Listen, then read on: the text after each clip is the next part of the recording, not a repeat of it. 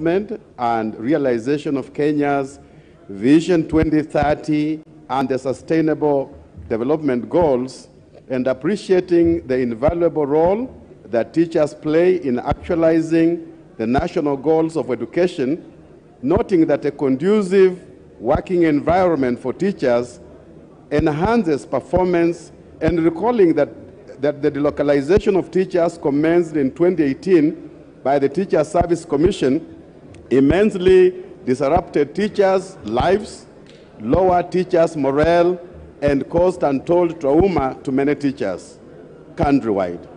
Honorable Speaker, concerned that the exercise was not supported with a clear policy framework and was initiated without the participation of teachers or their unions, contrary to, to Articles 118 and 132 of the Constitution on public participation and involvement of the people in the process of policy making, and cognizant of the fact that the localization of teachers is inconsistent with the United Nations Educational, Scientific, and Cultural Organization, UNESCO, teacher deployment practice, which treats education as a culture process conducted within a people's cultural context at the local level.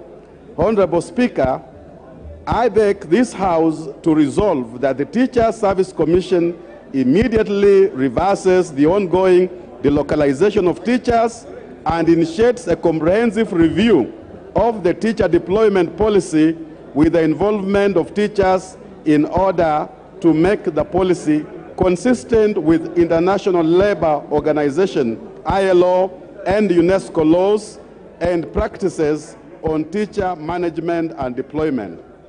Honorable Speaker, I want to thank God for the opportunity He has given me and to thank the people of Lurambi for electing me uh, for the second time.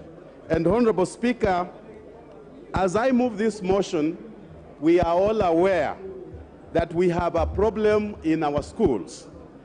Education is uh, what we can give to a country. Our children and generations to come can only uh, be guaranteed when we have a better framework of education. Honorable Speaker, I rise here today to speak on this issue, delocalization, which commenced in the year 2018, whereby without any preparation, without any uh, participation by unions and education stakeholders, Teachers Service Commission began to move teachers from one point to another point. Teachers were moved as animals and not even as human beings. Honorable Speaker, education as we know is culture-based. And uh, when I was in school, Honorable Speaker, my teacher began to teach me in this format. Ma, me, mi, mo, mu. Ma, me, mi, mo, mu. Pa, pe, pi, po, pu.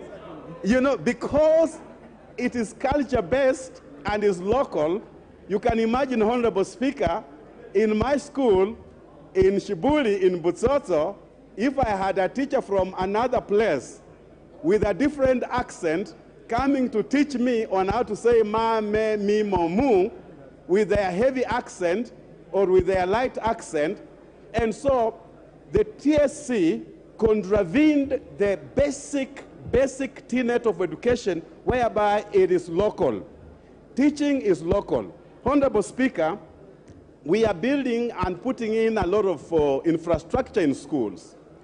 We pride ourselves on how many schools we have built as members of parliament. We, we build story buildings, but we forget that if the welfare of the teacher is not taken care of, that story building is no good. A teacher who's taken good care of, a teacher whose welfare is taken care of, can post good results, Honorable Speaker, even if they are teaching under a tree. We have invested heavily and immensely Honorable Speaker, you, I pray you protect me from there is a lot of talking. Proceed, proceed. It's relatively low now. Honorable Speaker, I'm forced to lift my voice of the bishop. I've heard you talk very loudly in your church, so speak like that. Thank you, Honorable Speaker. I proceed. So, Honorable Speaker, I speak on behalf of so many teachers because, uh, Honorable Speaker, when the localization came in place, teachers' unions were stifled. Life was taken out of the unions of the teachers.